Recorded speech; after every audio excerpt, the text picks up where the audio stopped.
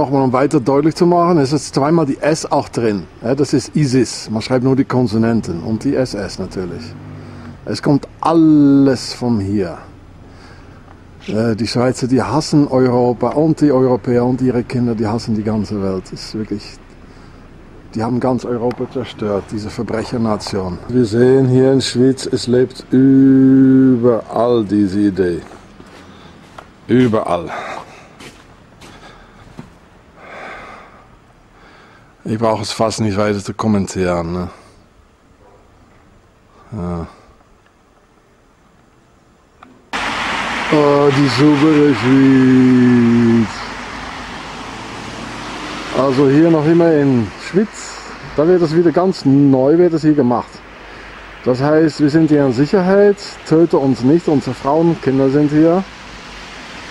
Sonnenplätzli, ja, die Sonnenhieroglyphen. Ne?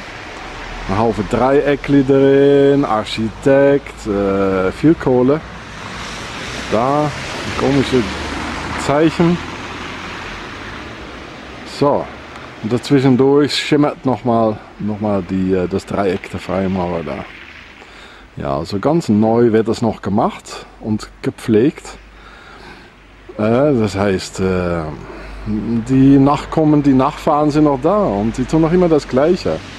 Es ist nicht schön, das Ding hier. Es hat Geld gekostet. Äh, es hat überhaupt keinen Sinn. So viel Aufwand. Außerhalb man weiß es. Man ist eingeweiht. Und ich hoffe, ihr seid hier eingeweiht jetzt. Ganz neu wird es noch gepflegt, sehen Sie? Okay. Hier im Zentrum, äh, wo den Mord an den Europäer angefangen hat mit diesen Templern aus Ägypten, die Pharaonen. Ja? Okay. Und hier sind die Banken denn, das, das, der Templerschatz haben sie erstmal hier hingebracht, aus Ägypten, aus Salomons Tempel in Jerusalem. Immer Raub. Da die Kirche, speziell ein Dreieck drauf gemacht, ich habe es vorher noch gezeigt. Wir wissen jetzt, die, der Papst ist äh, der Chef von einem äh, Kinderfickerring, organisiertes Verbrechen. Und äh, dieses Haus ist ja auch voll. Das ist mal wieder viereckig. Da oben nochmal die Sonnenhieroglyphen. Äh, und diese, die ist ja echt eigenartig. Das ist alles. Die Sonnenhieroglyphe, zweimal, das Dreieck der Freimaurer. Die ist echt alt. Echt sehr alt. Sehr speziell. Das ist eine enorm spezielle Ausstrahlung, das Ding. Und das ist alles hinter dem Haus da von diesen so drei sogenannte Gründungsväter. Hm. Mhm. Das ist auch wieder viereckig, so wie das Haus nebenan, da rund. Sehr speziell. Und das ist, ja, das ist das Haus der Gründungsväter, ja, auf die andere Seite da. Ich weiß nicht, was es da noch oben drauf hat. Die Erddomination, Krone. Also es reicht jetzt hier. Nochmal das von Redinghaus, da mit diesen Obelisken. Hier die Kapelle. Da, da war eine ältere Ein Einungskapelle. Diese Kapelle ist eine Templerkapelle, ohne Zweifel. Hat eine typische runde Form, ein bisschen schmaler da am Ende. Und äh, nochmal die drei Wache da, drei Bären. Na, jetzt schneit es einen Moment nicht. Nochmal das Swastika da, das Hakenkreuz von diesen Schweizer Nazis hier. Dann gehen wir mal rein hier. Das ist eine ganz kleine Kapelle mit einem typischen runde Templerkapelleform, so wie in Spiez. Hier hat es wenige Symbole, muss ich sagen. Ja, das Hakenkreuz ist nicht schlecht. Und da ist natürlich oben die Sonne-Hieroglyphe in einer bisschen andere Form wieder. Und nochmal das Hakenkreuz, das ist ja wichtig für sie, scheint es hier. Ne? Da. Sehr wichtig für sie. Oder die zwei S, Isis. Ja, ja, was haben wir sonst noch?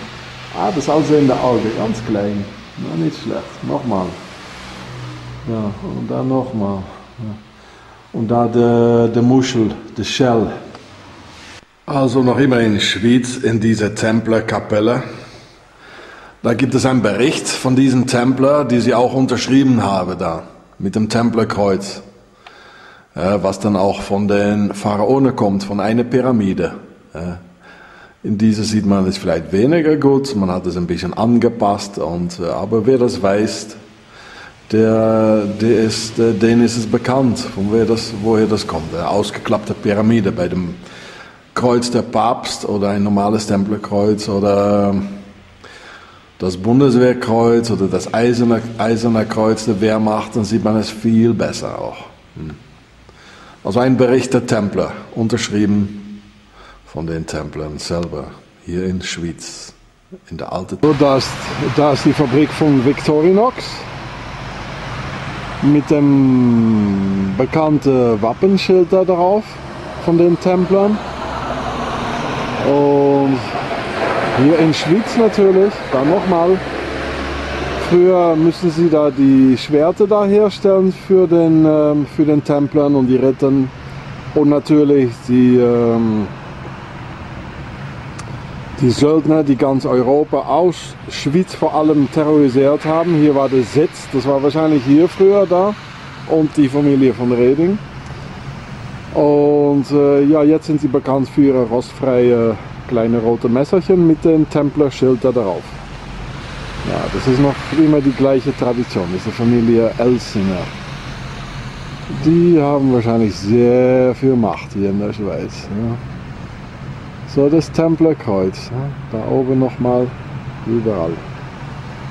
Eine alte Tradition aus den Rittern und ihren Schwerten, die hier, natürlich haben sie die selber hergestellt. Das Prinzip, um diese schöne rostfreie Messer zu machen, das haben sie, das haben diese Schweizer wohl irgendwo geklaut, so wie sie völlig aus Diebstahl und Betrug äh, auf der Rest der Welt parasitieren in dieser Mafia.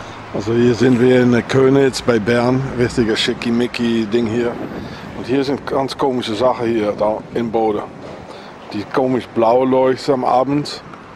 Es könnte ganz gut Scanner sein. Diejenigen, die sich da eine Antigrippeimpfung machen ließen, ne, mit einer Chip da drin, die werden hier gescannt. Und es geht hier eigentlich um die Idee, dass, diese, dass die Idee noch lebt heutzutage. Die Pharaonen sind hier, Jachim und Boas, ganz neu gemacht worden. Die Idee lebt, darum geht es dann noch hier. Es ist nicht tot, es ist nicht aus einer Zeit, aus dem 19. Jahrhundert, dass... Äh, ja, dass das modern war oder in war. Äh, oder eine, die Idee lebt noch.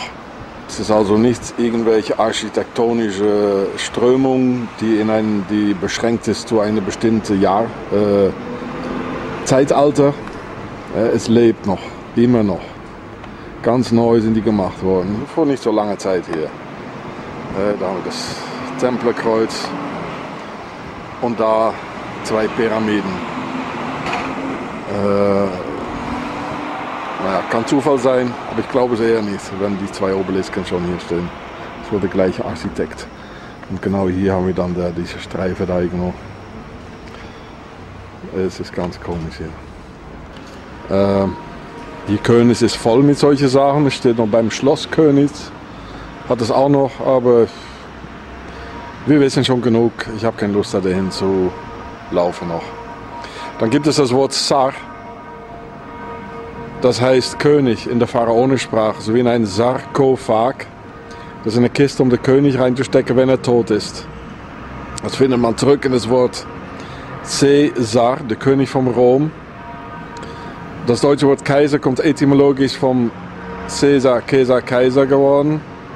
Dann gibt es Salazar, der Diktator in Portugal. Nebukadnezar, der König von Babylon. Die Familie der Zar, ganz deutlich. Familie Windsor aus England, reine Pharaon. Äh, Sarkozy, der König von Frankreich. Das französische Wort Monsieur kommt von Monsire.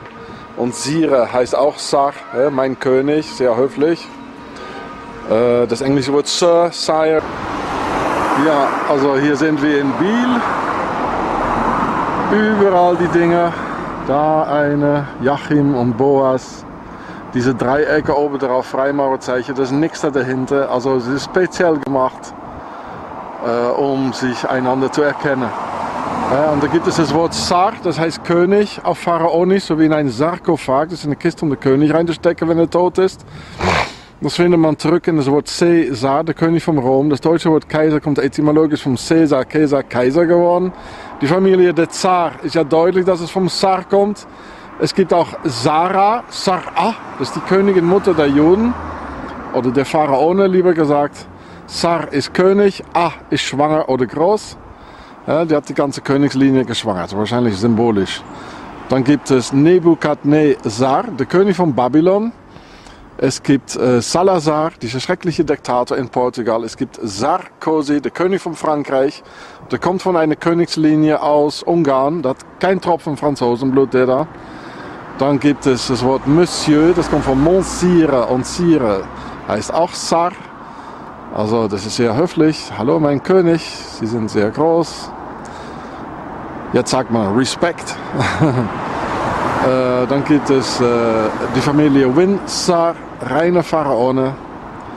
Sie regieren nie. Die Beweise sind da in den Gebäuden, in den Symbolen, in der Sprache, überall.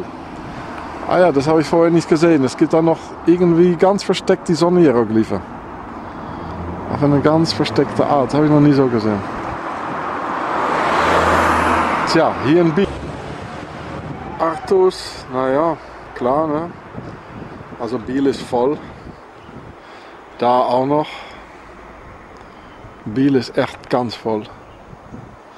Und was sehen wir da? Hier ist das, äh, äh, die Präfektur in Biel. Wie heißt es? Äh, Stadthalter ist hier. Da zwei Obelisken. Noch ein Obelisk. Freimaurer Dreieck. Na, hier hat es alles. Amtshaus, ja genau. Nennen sie das. Hier ist voll. Da, Polizei. Tja, und das Tier, das Tier hatte sieben Hörner, steht in der Offenbarung, und zehn, und zehn Köpfe. Nee, das Tier hatte sieben Köpfe und zehn Hörner. Die Schweizer, die haben sieben Köpfe und sieben Bundesräte, die regieren und zehn Amte, die sie unter sich verteilen. Tja, also die Schweiz ist das Tier, die ganz Europa kaputt gemacht haben mit ihren Söldner, mit ihren Banken. Die haben alle Kriege finanziert und noch. Äh, das Tier hatte sieben Köpfe und zehn Hörner. Sieben Bundesräte, die sieben, die zehn Ämter unter sich verteilen. Und übrigens, die 11. September, das ist die allerhöchste Opfertag der Pharaone, der heißt Enkutatac. Ja, 9-11. Zwei Obelisken, Jachin und ja und hier neben Artus, also gegenüber vom äh, Amtshaus in äh, Biel, sieht man auch noch überall das Templerkreuz. Da eine und da eine. Also Biel ist voll. Wirklich voll, voll, voll. Das sind alles die gleiche. Ja, da sehen wir noch das Amtshaus da mit der Obelisk.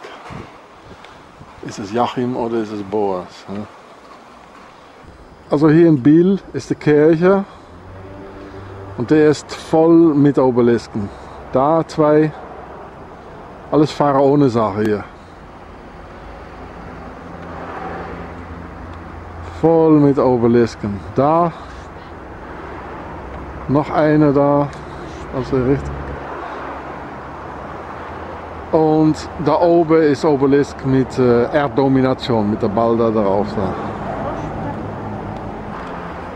Also da, da und äh, auch noch da. Das ist unglaublich die Priester von Ammon. Und dann schauen wir hier auf die andere Seite, da der Gral. Da weiter ist ein Museum mit Sonnenhieroglyphen überall drauf. Man sieht das nicht so von hier. Gebäude gegenüber ist auch irgendwelches Museum.